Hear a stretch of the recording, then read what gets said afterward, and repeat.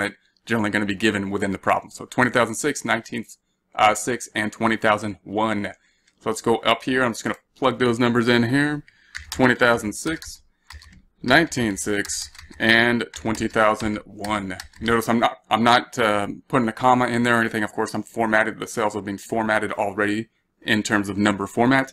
Going to sum that up by saying equals SUM. And I'm just going to sum that up. The 26 plus the 19.6 plus the 20,001 is going to add up to a total of 60,003 for the third quarter. Now, that's units, and we're going to talk about now the dollar amount, which will be 24. That's how much we uh, sell these for. Therefore, we're going to multiply this out now. So 20,006 units in July times $24 would be equals 20,006 times 24 and enter. Way I said that, you probably thought I was going to do that in my head there, but no, I was gonna, we're going to do that here. we say this equals the 19.6 units that we're going to sell times the $24 that we sell them for. And that'll give us the uh, 470, 400. And then in September, we're going to say this equals the 20,001 times the $24 that we sell them for. And so this is how many units we're going to sell. And now we're going to sum up the dollars sales that we believe that we're going to have. So this is going to equal the sum of and notice, uh, sometimes I'll try to format that. We could format these in terms of, of dollars over here as well, just so we can see the fact that uh, when we're separating units from dollars, which can be a bit confusing in these types of problems.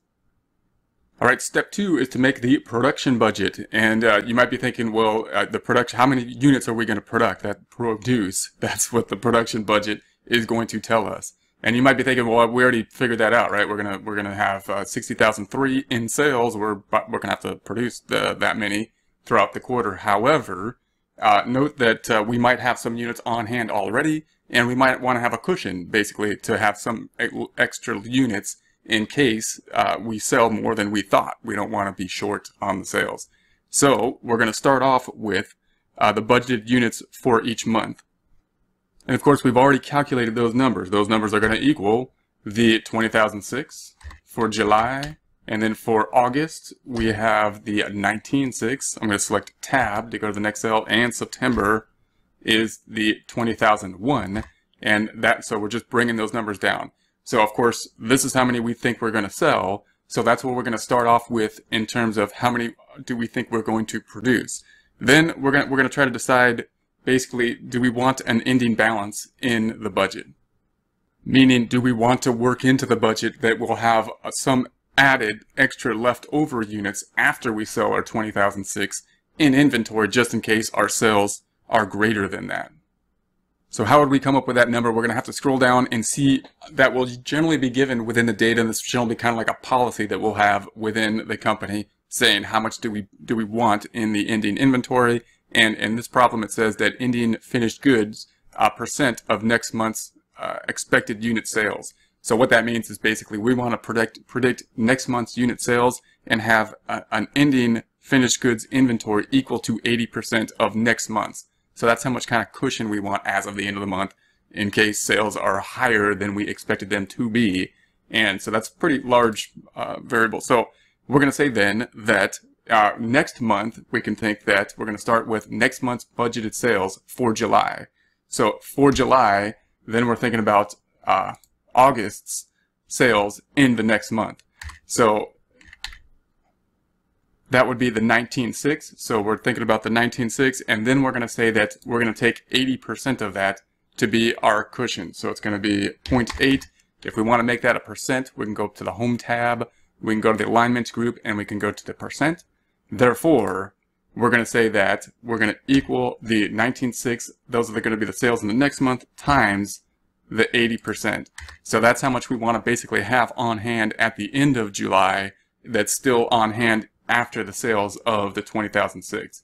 We're going to do the same thing over here. We're going to say, well, for August, we're going to say equals and take the September sales. We want to take next month's sales according to our rule times 80%.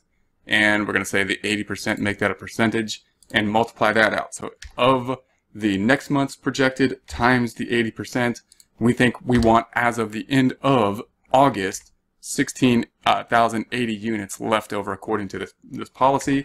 And then you might be going, well, what about uh, September? Because obviously our, our sales budget only goes up to September. And that's one of those areas where the, the problem's going to have to give you some more data in terms of, well, what do we think the, the budgeted sales are going to be for October, which is outside of, the, of our um, quarter that we're budgeting for, but we need that if, if this is the policy. So we're going to have to go down to our data, and that's why it gives us this October number out here, and we're going to say 20,006 is what we think is October, so we're going to have to uh, multiply that times the 0.8, the ending balance number, and we'll uh, take the percentage of that, and then multiply that out, so we got the 20,006 times the 80%, and enter. Okay, so now we've just entered some labels here. So we have the ratio, we have the budget ending inventory in units. Remember, we're talking about units as opposed to dollars. Got to keep that in mind as we go through this. And then we'll add this up. So the required units of available production. That's going to equal the budgeted units. This is how many we think we're actually going to sell in July, plus the cushion, what we want left over in ending inventory. So we're going to sell 20,006 and we want 15,680 in the warehouse as of the end of July just in case we sell more and or to get us ready for August. So I'm going to hit tab, I'm going to do the same thing. You could copy and paste the formula, however, I'm just going to calculate it a few times so we can see that calculation. So it's going to be the amount we're going to produce plus the amount that we want in ending inventory equals in September the amount we're going to produce in September plus the amount we want in ending inventory. Okay, and now you might think we're, we're finished with that, but now we, this is what we need to produce and if we were starting at ground zero, that would be the case. However, uh, we probably have some stuff in the warehouse already. So now that we know how many we want to produce if we had nothing, now we got to subtract out the stuff that's already in the warehouse. Now this number can be a little bit tricky. Notice I put the wording in here, less beginning inventory. So this is the stuff that's already in the warehouse. It could be a little bit tricky to, to get some of those numbers depending how the problem is set up. We do note that like if we skip over to August, we can see that well, um, if the ending inventory that we want to have is uh, 15680 as of the end of July, then if all accordance goes according to plan, then the beginning inventory for August will equal that number. So, so we know that that's going to be